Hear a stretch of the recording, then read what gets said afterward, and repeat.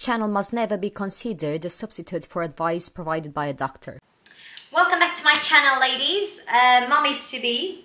Uh, today's uh, video will gonna be about um, a first trimester overview. So, of course, uh, since we're here, uh, our pregnancy has been confirmed by the doctor. Um, we've been through a bit of a roller coaster for the last uh, couple to three uh, months or so, uh, which means first trimester. Okay, now let's see what was going on. did you wake up? Did, did did you have time to um, let it soak in? Did do you realize what is happening? What is happening inside of you in there? Hmm? I'm gonna start first. Um, and I'm gonna start with the food aversions uh, and uh, smell aversions. Why? Because uh, this happened even before I knew I'm pregnant, so I had these symptoms, these aversions. Um, and whenever the pregnancy got confirmed, I don't know, for some reason, it got even worse. What I'm saying by that, um, I'm saying that I couldn't have any of the protein intake that I used to have before. So, um, as I am, okay, used to be a sports person before the little one, um, my diet was quite uh, proteic. Of course, I used to alkalinize it with um, uh, loads of uh, veggies, loads of greens, uh, chlorella spirulina in terms of uh, supplements. So um, uh, water, like al alkaline water, uh, so not too much uh, of a worry in, in terms of that, okay? Don't worry, I was alright. But apparently the baby knew that um, I, am having a lot of protein, so uh, there is no need for you, mommy, to have uh, at least for a couple of months or so. So unfortunately I couldn't have any of my uh, meat, fish, okay, I was fine with not having too much of the fish anyway, because I knew the reasons behind. Uh, but also eggs, I couldn't have. Even the smell of it, um, the smell of the eggs, uh, the smell of the meat, um, cooked or uncooked, doesn't matter. I just couldn't take it. I couldn't bear it. And also, I want to underline the fact that the, uh, the whole meat that I'm having is uh, pasture raised, okay? So it's from a trusted source, it's not just bought, because I thought of that as well. Okay, if it would have been bought, maybe it's because of the whatever additional stuff has in.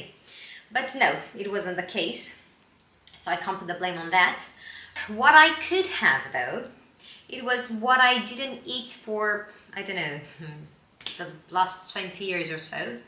And uh, that'd be, hang on, pretzels. Yep. Uh, pretzels with poppy seeds, yeah uh, pretzels with poppy seeds and uh, yogurt, sort of. Um, and another sexy combo that I had, it was um, the pickled cabbage with avocado. Don't ask me, I know. Uh, maybe because of the texture of the avocado that was quite uh, nice and smooth and uh, the taste was quite sweetish. Um, and on the other side, the crunchiness of the cabbage and the uh, sourness as well. They just got very well uh, together okay? Um, I finished quite quick with the uh, avocado and cabbage combination. Um, only took me a couple of uh, weeks. Uh, but the thing with the yogurt and pretzels unfortunately it didn't let me go for I don't know two months or so. So yeah. uh, I had baked rolls and pretzels uh, and yogurt. Uh, I don't know. The most that I had in my last 20 years. Okay. Uh, what else was in there? I could have some um, cheese and uh, tomatoes. I could always have my greens. Appreciate that. Yeah, thank you for that. Always I had, uh, I was able to have a green salad um, uh, cucumbers, um, broccolis, um, asparagus, uh, spinach. So my greens was were fine. I could uh, I could have them. Uh, of course, loads of lemon in there. just to be sure I'm, I'm mentioning that. Um, I was uh, reminding uh, in another episode when it was about symptoms that I couldn't have any coffee. That was one of the symptoms that got me on on thoughts like, okay, why why coffee? I mean, uh, and yeah, I couldn't have any of the of the coffee. Unfortunately, I, I'm still not able to have any coffee at all. Um, but frankly said, I don't need the coffee, the caffeine, okay? So I'm fine with my uh, energy levels and all that. Mm, it wasn't to be able to wake up or so, even before the pregnancy. So um, I was alright with that, and I am alright with that. It's, it was just like a habit to me. Okay, and now I'm having tea, so not such a big of a deal. And in terms of food, uh, I couldn't have um, onions, and I cannot have any onions or garlic or food dishes that contain those, unfortunately. Um, what else? In terms of um, general sickness, I can't call it morning sickness because I wasn't like other mummies um, just throwing up in the morning and then be the whole day alright or totally opposite to just to be right in the morning and the whole day then sick and whatever Um, I never threw up to say, uh, but I had this sort of uh, sickness mood the whole day, unfortunately, and it was quite difficult for me to find something to eat. Um, so I cannot feel hungry in the very next five minutes after I was eating. Uh, that was quite tough uh, for the first couple of months. Um, what else? Okay, fragrances, ladies. I don't know you, but me. I never thought that a good girl from uh, Herrera, yeah, would give me this feeling. I, I love that fragrance, but unfortunately I can't use it. Uh, opium either. So there are a few of my favorites that I can't literally put them on because I feel sick from them. Um, even the uh, room fragrances that uh, again I can't take those either um, what else uh, the uh, deodorants again um, even my partner unfortunately my husband um, bless him. I had to take um, some fragrances off of him uh, because uh, he was forgetting and he was just using them. Uh, I can't stand next to you because of your smell. And on one side honestly I was feeling so bad to tell him that. But on the other side it wasn't me. It's not me. Yeah so just blame him. Him because it's a little boy. It's Andrew here okay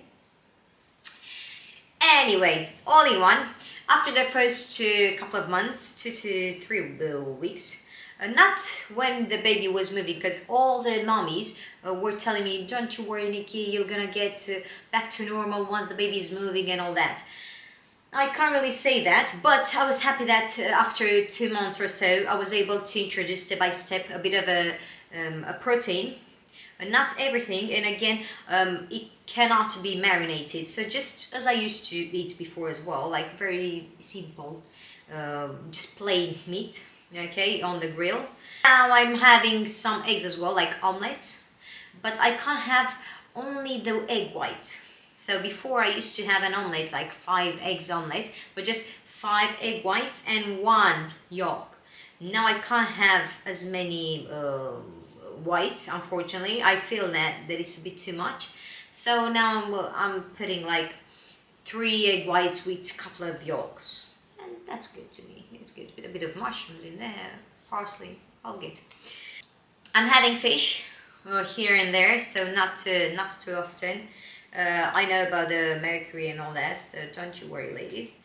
If you don't know, let me know uh, into a comment down below, and we're gonna cover that as well. When it comes to fish, what sort of fish, how often, and so on, or why you can't have. okay. And uh, so after this couple of months or so, I was able to reintroduce some of my food. And uh, I can say now in the seventh month, um, I'm almost back to normal, apart from the onions, uh, garlic and coffee. Yeah, I'm still having aversions to these. Uh, when it comes to fragrances, same. I'm still having a, a bit of a retention in there. I can't I can't have I can't have too many uh, assortments in there. Uh, but I'm trying my best not to cry over it. But at the same time, as promised in here, ladies, I'm trying to be honest, to give my honest opinion, because I know so many of you that wanted to know uh, how would I react uh, within a pregnancy. Um, most of my uh, clients, ladies clients, uh, the ones that, uh, of course, got the pregnancy with me as a personal trainer. Uh, so here I am, all nice and honest uh, about my pregnancy, and I'm expecting from you the same, ladies. So just let me know your first trimester overview. I hope it wasn't all just about sickness, yeah?